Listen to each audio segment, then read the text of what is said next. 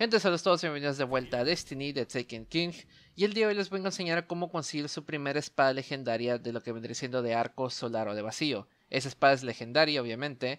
Eh, hay una variante de exótica, pero bueno, eso se verá más tarde. Eh, pueden elegir una de estas tres como quiera. Eh, ayer estuve un buen rato jugando con ella y debo decir que es bastante buena. No es la mejor arma del juego, obviamente.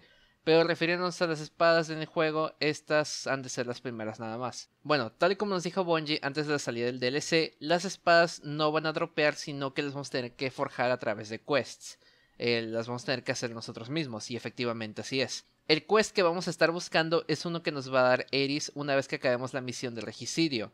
Ahí me lo dio prácticamente al instante, pero al parecer eh, para desbloquear este quest debes terminar uno que otro más. Pero bueno, en realidad no hay pierdes, son de los que te dan una vez que acabas los primeritos. El quest se llama Voluntad Rota. Nos va a pedir que hablemos con Lord Shax, el cual al mismo tiempo nos va a pedir que para forjar la hoja vamos a necesitar juntar copos de, de adio. Se, llama copos de adio. Necesitamos exactamente 25 de estos y aparte 10 motas de luz, las cuales muchas tenemos de sobra. Pero ahora la pregunta, ¿dónde conseguimos estos copos de adio?